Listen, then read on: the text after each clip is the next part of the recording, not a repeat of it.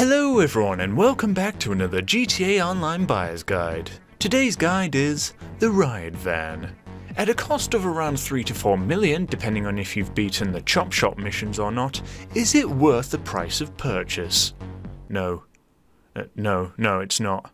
Alright, for those who are really inclined to buy this thing just because they want to roleplay as a policeman and wee woo the traffic out of the way, let me at least show you why I think you should not buy it.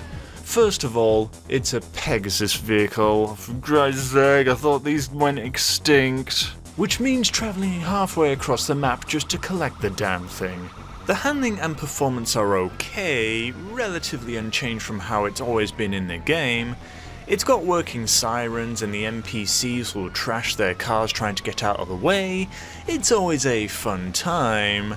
It has fully bulletproof windows which I think the modeler at Rockstar made a mistake because they don't exist on the inside, unless they're like a one-way glass in which people shouldn't be able to see inside and the occupants see out. It's, it's the complete opposite and it makes no sense. I think Rockstar just got lazy and reused a vehicle from 2013 which wasn't designed around the first-person view mechanics that the game got later on.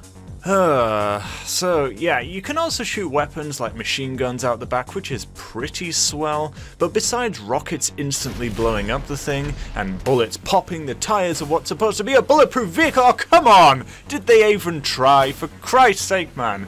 Why are the tyres poppable? It makes no friggin' sense. The Riot Van. The only van in the game where the real life equivalent is probably better than the in-game model. So yeah, one rocket or popping the tyres is enough to render this thing completely useless.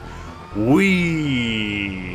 Leave it up to you guys to decide if this thing is going to be worth it. At least the contemporary, the cop cars you actually get to own inside a garage and can be customized. To quite the extent I must add, hot damn, there is a lot of customization on these things. More information on the full video on them. I feel like I've wasted a hell of a ton of money. I'm gonna have to get the grind in for the next DLC where it'll be nothing but plastic children's cars that you make move by Fred Flintstoning the friggin' floor! Anyways, before I punch my own television screen, I hope you found this useful. Make sure to subscribe and join the official Discord channel.